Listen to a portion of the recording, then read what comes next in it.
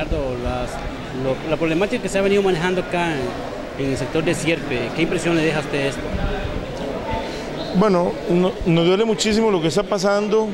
Entendemos que hay una legislación y es una legislación eh, que trata de, conservar el ambiente, que trata de aportar según la riqueza natural que tenemos. Lo que pasa es que hay que valorar que ninguna conservación puede ser exitosa si excluye a los seres humanos.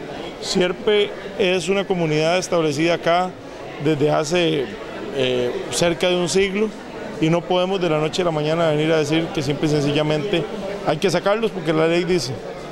Yo creo que la ley no es un fin en sí mismo, las instituciones no son un fin en sí mismo y quienes interpretan la ley, en este caso los ministerios y las diferentes instituciones, tienen que entender que son seres humanos los que están detrás de esto, que son seres humanos los que han conservado el 80% de, de OSA, que es patrimonio natural del Estado, que son seres humanos los que han conservado la comunidad de Sierpe, que son seres humanos los que han conservado el río y que no se le puede castigar a esos seres humanos que han hecho la tarea con ahora pretender desalojarlos o pretender sacarlos de acá. Sierpe es uno de los puntos estratégicos en el cantón de Osa, lo que es el turismo. Pues esto si se llegara a dar, pues afectaría más, no solamente a Sierpe, hablemos también de las otras comunidades como son los sectores de las playas y más que todo Bahía Draque. Bueno, es que nosotros tenemos que entender que la ley 6043 es una ley que tiene 37 años de existir y hasta ahora yo no he visto que haya logrado promover el desarrollo que se pretendió promover, ni haya logrado, eh, ni, que haya logrado la conservación del ambiente que se ha logrado, que, se pretendía en el momento. O sea, 37 años después son mínima la cantidad de planes reguladores que hay, son mínima la cantidad de concesiones que hay. 37 eh, años después el modelo no ha sido exitoso y eso lo tenemos que entender. Y si el modelo no ha sido exitoso, tenemos que buscar la forma eh, legislativamente de que el, de que el modelo eh, llegue a cumplir con las necesidades de la gente. Y eso precisamente es lo que andamos. Es un proceso, hay que convencer a los técnicos, hay que convencer a los abogados, hay que convencer, es decir, esto es un proceso, no es nada sencillo, pero bueno, es, importante luchar por lo que creemos y hoy la comunidad siempre se ha tirado a la calle a luchar por sus derechos. La comunidad siempre puede contar con su apoyo.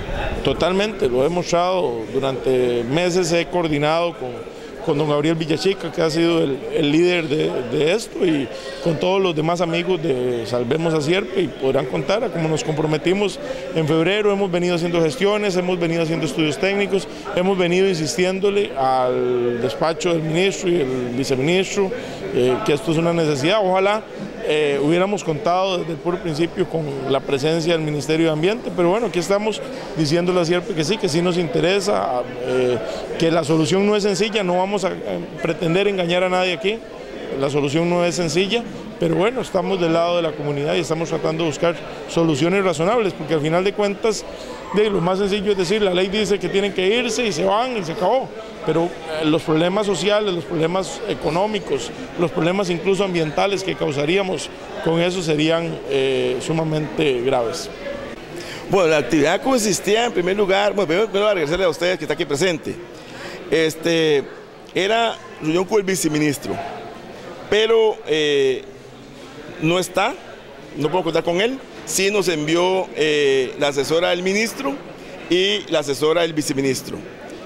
Para mí es importante porque son las dos personas en estos momentos, esas funcionarias que están involucradas en resolver el problema, tanto de tenerse la tierra como de la ría. Ellas son las que van a la Asamblea Legislativa y se reúnen con diputados. Entonces yo creo que aquí eh, se logra el objetivo.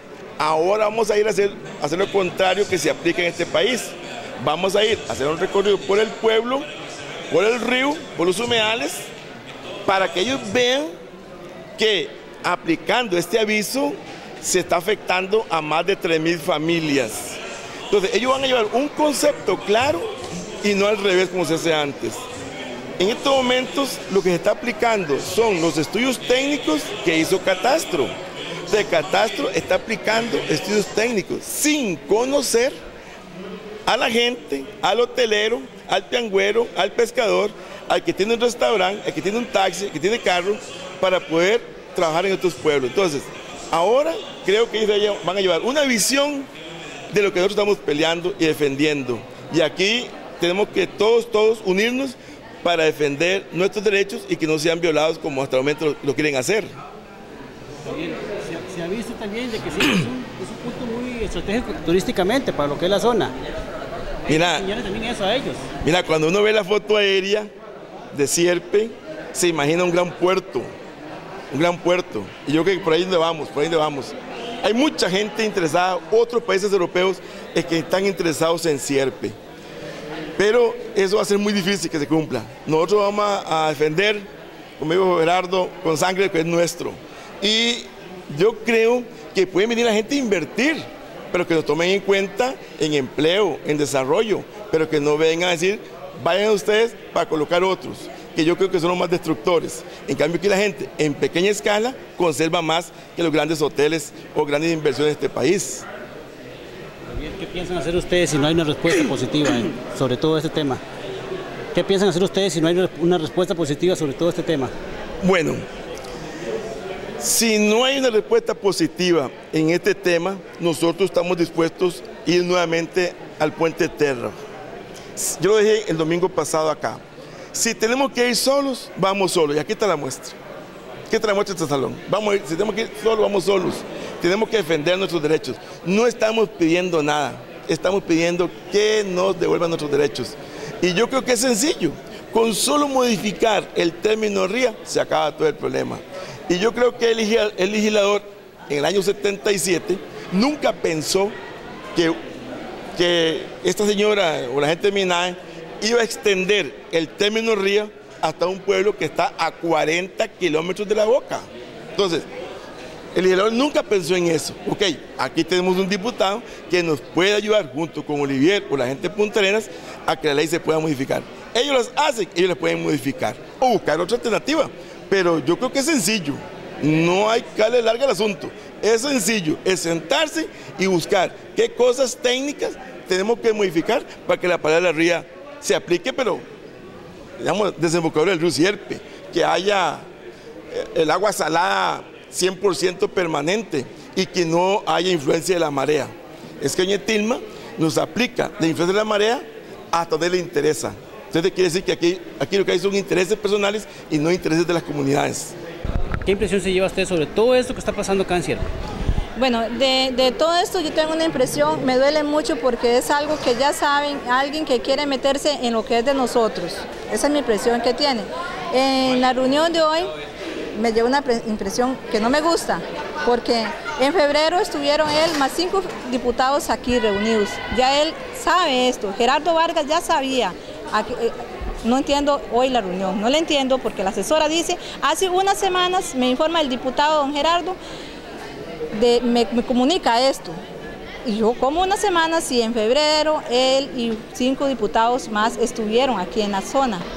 O sea, ¿usted siente que, el que don Gerardo no quiso venir hoy? ¿Ah? ¿No quiso venir hoy? Siento que no quiso venir hoy y además estamos esperando al, al 25 o 26 que viene el ministro. Nosotros queremos es el ministro, aquí hubo el presidente. ¿Se siente preocupado usted sobre esta situación? Sí, muy preocupada. En mí, eh, yo, en caso, mi persona, estoy muy preocupada, demasiado preocupada por el pueblo de Sierpe, porque yo no quiero que esto se vuelva una política.